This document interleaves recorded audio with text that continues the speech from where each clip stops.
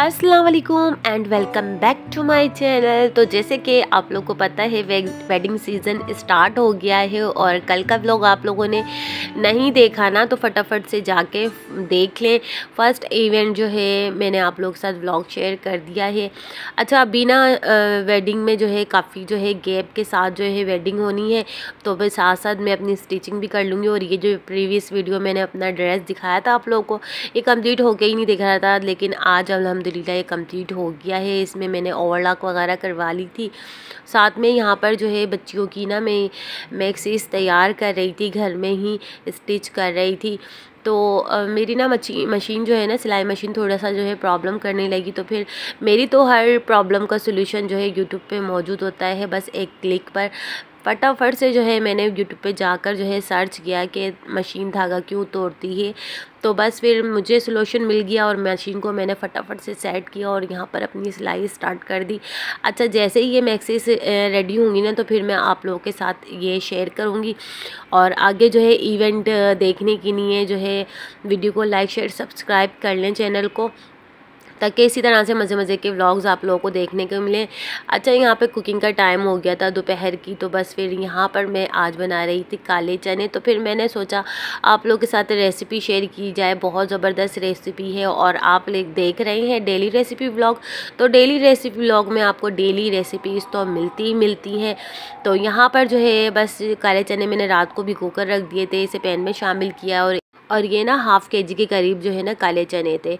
अच्छा two teaspoon मैंने इसमें पिसी मिर्चें ऐड की हैं वन टीस्पून धनिया पाउडर ऐड किया हाफ़ टी स्पून हल्दी पाउडर ऐड किया है और हाफ़ टी स्पून कुटी मिर्चें ऐड की हैं और डेढ़ टी स्पून मैंने यहाँ पर नमक ऐड किया है। नमक मिर्चें आप अपने टेस्ट के अकॉर्डिंग भी इसमें ऐड कर सकते हैं एडजस्ट कर सकते हैं।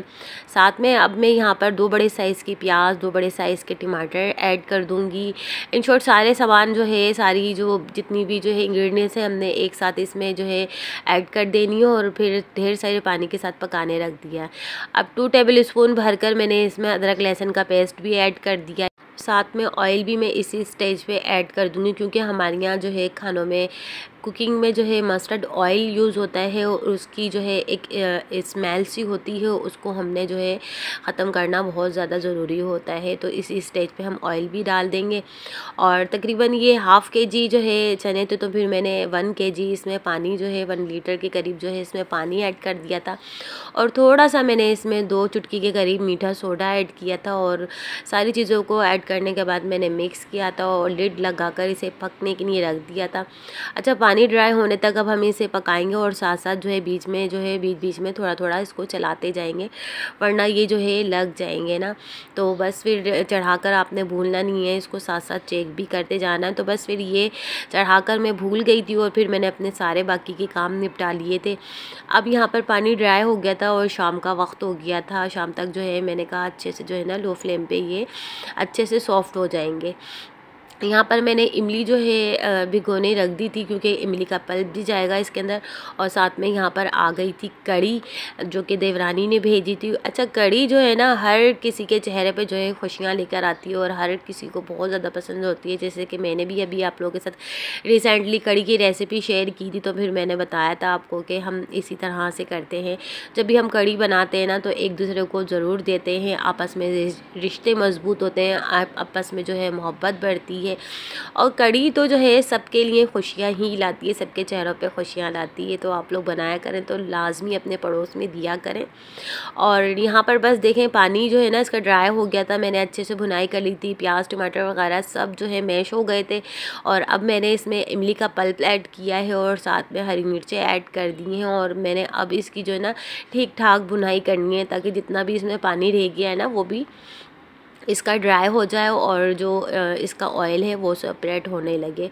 अब साथ में ना यहाँ पे टू टेबल स्पून मैंने बेसन ले लिया था। इसको थोड़े से पानी के साथ जो है डिज़ोल्व कर लिया था और अब मैंने ये बेसन भी इसमें ऐड कर दिया है।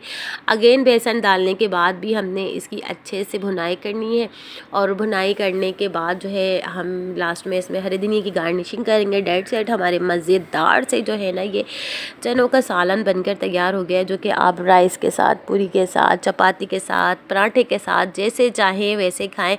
लेकिन हमारे घर में तो जो है, इसे पूरियों के साथ खाया जाता है। इनफैक्ट वो जो होते हैं ना, छोले भटोरे, बिल्कुल वही वाला टेस्ट आता है। अगर आप में से किसी ने छोले भटोरे खाए हैं ना तो आप लोगों को पता होगा कि वो कितने यमी होते हैं ना। तो बस इन चोलों के साथ आप पूरी बना लें और इतने ज़बरदस्त लगते हैं ना ये। तो बस फिर हमने इसको खाया, बड़े मज़े से इंजॉय किया और नेक्स्ट मॉर्निंग जो है मैंने बच्चों को जो है ये लंच में भी जो है पैक कर कर दिया था। अच्छा सुबह सवेरे उठकर जो है ना मैं छत पर जाकर ना एक राउंड ज़रूर लगाती हूँ और एक लंबी सी, गहरी सी सांस लेती हूँ, जिससे दिल को कोई इतना सुकून मिलता है और इतना हमारी बॉडी को रिलीफ मिलता है। सच में मैं आप लोगों को क्या बताऊँ। और यहाँ पर सुबह सवेरे का व्यू देखें और सर्दियों की ठंडी ठंडी सुबहें हों और इस तरह का वेदर हो तो कितना प्यारा लगता है ना। इनफैक्ट सर्दी थोड़ी सी ज़्यादा लगती है तो बस उसके लिए मैंने जैकेट वगैरह पहन ली थी और छत पर मैंने व्यू देखने के बाद इंजॉय करने के बाद मैं फटाफट से किचन में आई क्योंकि बच्चों के लिए बनानी थी यहाँ पे पूरियाँ, छोले भटूरों के साथ तो बस फिर मैंने यहाँ पर छोले जो है ना गरम करने के लिए रख दिए थे, साथ में जो है फ्रिज में से आटा वगैरह निकाल लिया था। अच्छा आटा जो है ना मैं सुबह के लिए हमेशा जो है ना रात में ही गूँध के रखती हूँ, क्योंकि भाई सुबह सवेरे जो है ना आटा गूँधने में ना मुझे भाई बहुत मौत पड़ती है। अच्छा आप लोग भी ज़्यादातर इसी तरह से करते होंगे, क्योंकि जो भी जो है हाउस वाइफ जो भी मदर्स है ना, वो इसी तरह से करती होंगी, जिनके बच्चे स्कूल जाते होंगे ना। हाफ़ जो है अपनी तैयारी बच्चों के लंच बॉक्स वगैरह की ना रात को ही कर कर रख रखती होंगी बिल्कुल मेरी तरह। तो यहाँ पर जो ना, मैंने एक बड़ी सी रोटी जो है बेल ली है और एक अपना जो है ना रेगुलर का जो हमारा गिलास होता है, सबके घरों में ही होता होगा। उसकी मदद से जो ना छोटी छोटी पूरियाँ जो है मैं कट कर लूँगी। इससे ना, काम भी आसान हो जाएगा और बच्चे भी खुश हो जाएँगे। क्योंकि बच्चों को ना, मेरे छोटी छोटी सी पूरियाँ बहुत ज़्यादा पसंद हैं और बच्चे जब ये लंच बॉक्स के में लेकर जाते हैं ना, बच्चों को, बच्चों के फ्रेंड्स को और उनकी टीचर को बहुत ज़्यादा पसंद आते हैं। तो बस फिर मैंने यहाँ पर ना ढेर सारी पूरियाँ कट कर कर इनको फ्राई कर लिया था और बच्चों को लंच बॉक्स में पैक कर कर दे दिया था। और कोई इतनी फूली पूरी और इतनी ज़बरदस्त ये पूरियाँ बनी थी ना, अभी आप लोग वीडियो में देखिएगा कि कितनी फूल कर ये इतनी अच्छी जो है पूरियाँ बनी थी। अच्छा पूरियाँ जब भी आप बनाएँ ना तो स्पून की मदद से ना, साइडों से आप उसको जो है ना, प्रेस करते रहा करें, जिससे जो है ना, पूरियाँ बड़ी फूली फूली बनती हैं। साथ में मैंने दूध भी बॉयल करने रखा था ना तो देखें भाई क्या भाड हो गया मेरे साथ कि दूध निकल गया पूरियाँ बनाने के चक्कर में। अच्छा मैंने पहले पूरियाँ बना के बच्चों को जो है ब्रेकफास्ट में दे दी थी, और फिर दोबारा से जब मैंने पूरियाँ बनाना शुरू करी तो बच्चों के लंच बॉक्स के लिए मैंने पैक कर देती हूँ और पूरी देख रहे हैं ना आप, माशाल्लाह, कोई इतनी फूली फूली पूरियाँ बनी थी, मेरा दिल बड़ा खुश हो रहा था। अच्छा मैं कचोरियाँ भी बनाती हूँ ना, दाल कचोरियाँ, वो भी ऐसी फूली फूली बनती हैं। बस फिर मैंने यहाँ पर जो है, बच्चों के जो छोटू सो की से जो है, ये टिफ़िन जो है पैक कर दिए थे लंच बॉक्स पैक कर दिए थे और बच्चे स्कूल के लिए रवाना हो गए थे। और बच्चों के जो है, बहुत ज़्यादा ये फेवरेट होते हैं। तो हबीबा अरबा नवेरा के लिए मैंने यहाँ पर लंच बॉक्सेस पैक कर दिए थे। अच्छा बच्चों के पेपर्स हो रहे थे ना इस के दौरान ना आजकल बच्चों के जो है ना पेपर्स हो रहे हैं।